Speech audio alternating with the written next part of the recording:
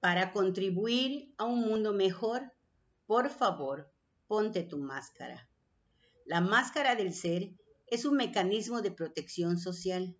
Afortunadamente al ego no le gusta ser exhibido y al ser no le gusta sufrir, así que juntos promueven el uso de la máscara.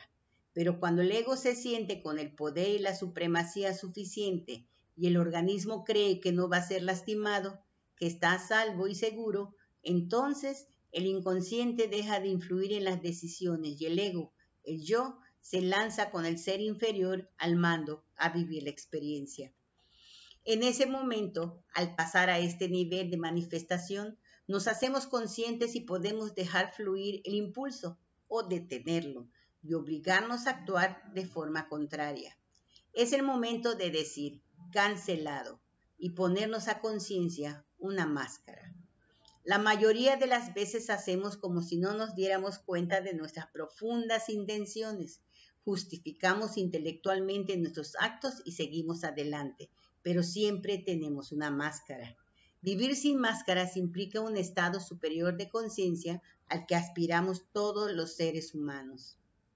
Cuando el ego o el yo es controlado por el ser inferior, se encuentra desesperado por ser aceptado y reconocido dentro del sistema de creencias de nuestra cultura como Dios, el falso profeta.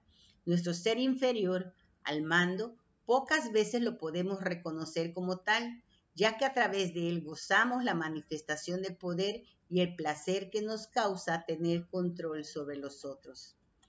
Actualmente existe una tendencia de dejarse llevar por nuestros impulsos como una forma de reconciliarse con nuestros auténticos sentimientos, pero pienso que no es la forma correcta. Lo primero es traerlos al plano de nuestra conciencia y trabajar con ellos. Hoy sabemos que reconocer el origen de nuestros problemas y traerlos a la luz de la conciencia nos permite sanar. También sabemos que algo que afirmamos y vivimos, aunque al principio no sea verdad, puede convertirse en realidad. Podemos acelerar este proceso trabajando con el deseo primario.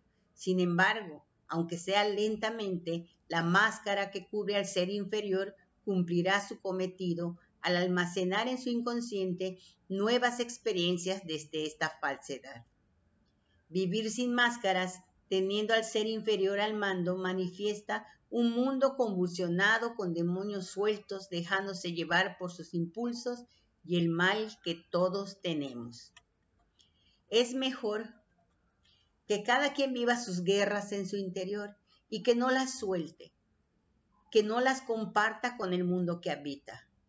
Si el individuo no tiene claridad sobre la discrepancia entre su sistema de creencias, la creación de su mente intermedia y la excitación que promueven sus acciones, por lo menos que culturalmente se reprima.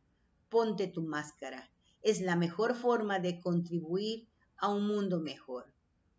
Ponte tu máscara. Gracias.